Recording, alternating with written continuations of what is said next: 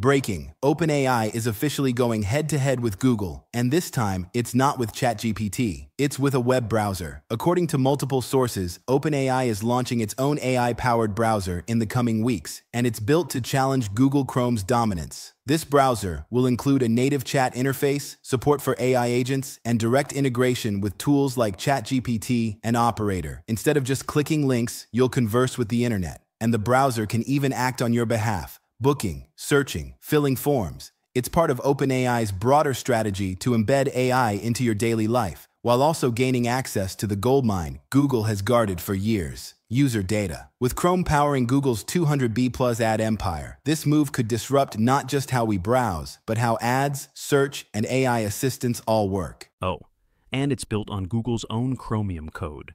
If 500 MMAO Chat GPT users adopt this, Chrome's reign could finally be over. Hit subscribe for more real time AI updates before the rest of the internet catches up.